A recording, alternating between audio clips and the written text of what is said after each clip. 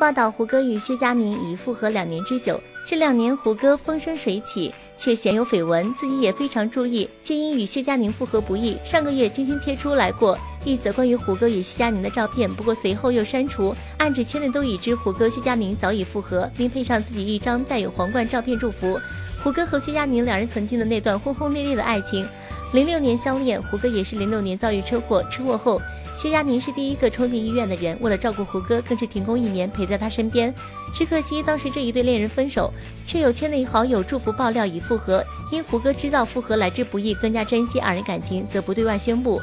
这几张照片更是胡歌在今年与谢佳宁暗示复合信号。虽然照片内容里背景谢佳宁身边都是中国人，而胡歌却出现外国人，应该是怕网友发现而有意为之。